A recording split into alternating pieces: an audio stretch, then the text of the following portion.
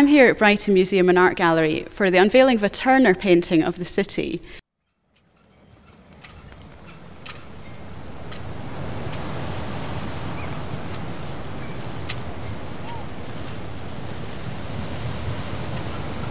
Turner was uh, an early 19th century romantic painter, particularly known for his landscapes.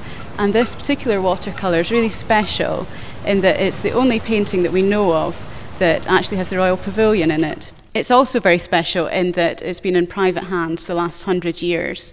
So this is the first time in a century that it's actually gone on show to the public. I'm with Geoffrey Bowden and Bill Randall from Brighton and Hove City Council.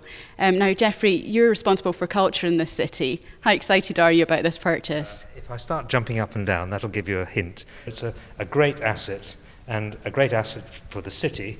It'll boost tourism, boost visitor numbers to the museum, and it's cost us nothing. Uh, with thanks to the Heritage Lottery Fund, the Art Foundation, and also uh, to the foundation of the uh, members of the museum who've also clubbed together to uh, donate so much money paintings like this, by, paintings by Turner and Constable, for instance, who came here because of the wonderful light, are the foundations of a cultural tradition in this city which exists to this day. There are apparently more artists per square foot in Brighton than anywhere else in Britain. And there are 16,500 people working in the creative and cultural industries. All of that good news started with painters like this. So there's a, there's a golden thread runs from Turner right through to people now who are producing apps and uh, digital wonders. Tell me a bit about the painting. What's in it?